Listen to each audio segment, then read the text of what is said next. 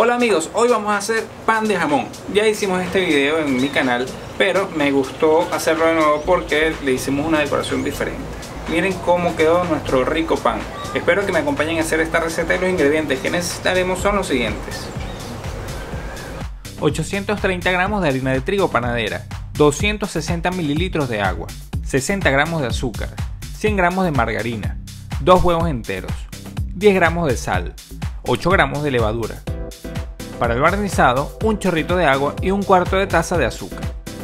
Para el relleno, 1200 gramos de jamón ahumado de excelente calidad, 200 gramos de tocineta, 190 gramos de uvas pasas y 190 gramos de aceitunas rellenas de pimentón. Comenzamos añadiendo el agua para la masa en un bol. Agregamos el azúcar y mezclamos un poco.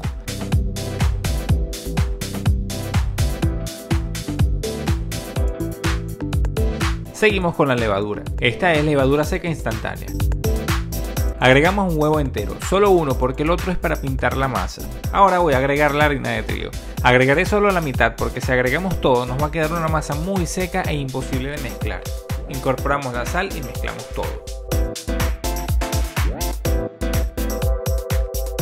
Añadimos un poco más de harina y mezclamos hasta obtener una masa que podamos retirar del bol y amasar en el mesón.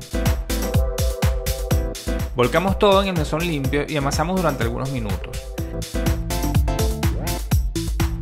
A medida que lo necesitemos vamos a ir agregando harina.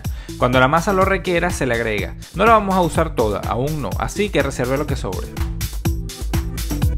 Luego de amasar unos 10 minutos agregaremos la margarina de a poco. Vamos a añadirla y mezclamos bastante hasta que se una a la masa. Es un proceso que si lo hacemos en una batidora será mucho más cómodo.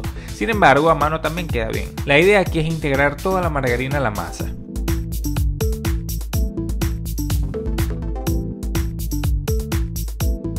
¿Recuerdan la harina que reservamos? Bien, yo la uso en este momento para que sea más fácil el amasar.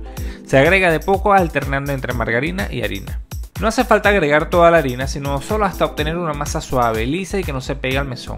Al cabo de unos minutos tendremos una masa muy bonita.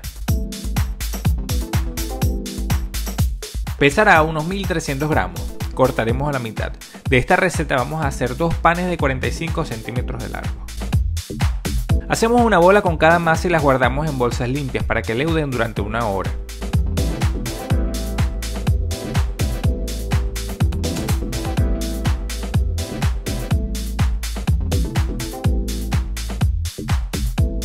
Enharinamos ligeramente el mesón y volcamos una de las dos porciones de masa.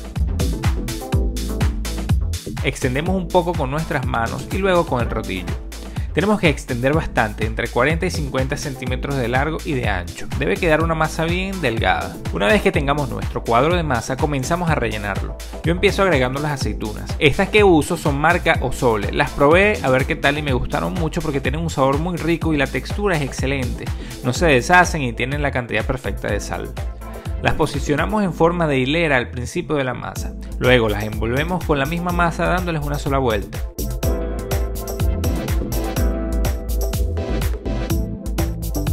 Seguimos con el jamón. Yo uso 600 gramos, aunque usted puede usar lo que desee. Colocamos bastante en la parte de abajo, vamos a cubrir casi todo el pan. Dejaremos una franja de pan libre para usarla como decoración. Es bastante jamón, pero queda muy sabroso, de verdad. Ahora las pasas. Estas pasitas las tengo remojando en vino desde el día anterior. Nos va a aportar humedad y dulzura a nuestro pan. Seguimos con tocineta ahumada.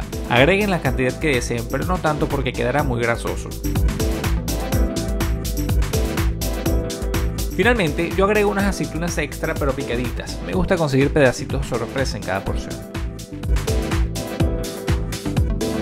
Ahora enrollaremos sin apretar mucho. Solo deben enrollar hasta donde tenemos el relleno, no la franja que dejamos para decorar. Te voy a pedir que por favor le des al botón de suscribirte y luego actives la campanita que está debajo de este video para que te avise cada vez que publique una receta y no te la pierdas. A esta franja le haremos varios cortes desde donde termina el relleno hasta el final de la masa. El grosor es a su elección. Este es un estilo de decoración, es el que más se usa, pero hay muchísimos más. ¿Recuerden el huevo que sobró? Lo mezclamos con un poquito de agua y pintamos el pan para que se pegue la masa. Envolvemos el pan con la primera tira y luego cruzamos a un lado con la segunda.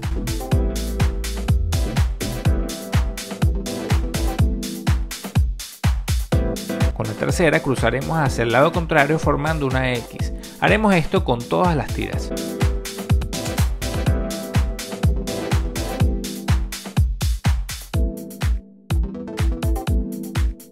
Al llegar al final, envolveremos con la última tira igual que lo hicimos con la primera. Clavamos el pan con un tenedor hasta llegar a la base para que salga el vapor al cocinar.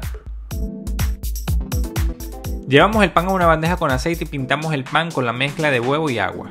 Dejamos leudar por una hora y mientras tanto encenderemos el horno a 180 grados centígrados y haremos el barniz. En una olla mezclamos el azúcar con un poco de agua, lo suficiente como para mojar todo el azúcar. Encendemos el calor a temperatura alta y esperamos a que dore nuestro azúcar. Te invito a que me sigas en Instagram, Facebook y Twitter en donde publico recetas, tips y mucho más. En todas mis redes me puedes conseguir como Chef Turista. También puedes conseguir esta y otras recetas en www.chefturista.com. Al llegar a un color dorado intenso, retiramos del fuego y con mucho cuidado agregamos un poquito de agua. No se ve en el video porque estaba pendiente de no quemarme.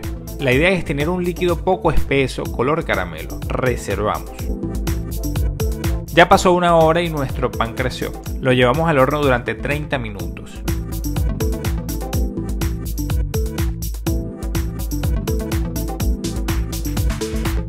Al pasar 30 minutos retiramos y barnizamos con la mezcla de azúcar. Cubrimos bien todo el pan sin excedernos.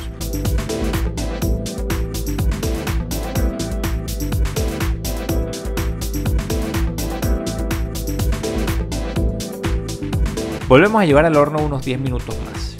Al pasar 10 minutos comprobamos que está del color que nos gusta y si es así retiramos. Tenemos que dejar que el pan enfríe, por lo menos que esté tibio, no lo corten aún.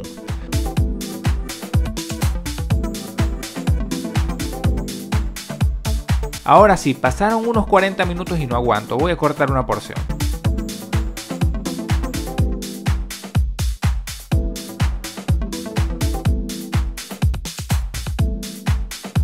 Miren la cantidad de relleno que tiene este pan, es una locura, queda demasiado rico y su olor es increíble. ¿Qué dicen? ¿Lo probamos?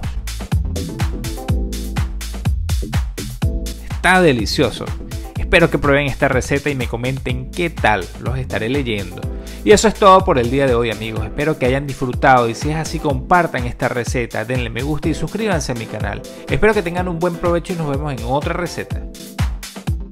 Muchas gracias por disfrutar de este video. Suscríbete a mi canal para que no te pierdas ninguna de mis recetas dando clic aquí abajo en el botón que dice suscríbete. Para ver mis otros videos puedes darle clic aquí en los dos recuadros de abajo y más abajo están mis redes sociales para que me sigas en Twitter, Instagram y Facebook. Hasta otra ocasión.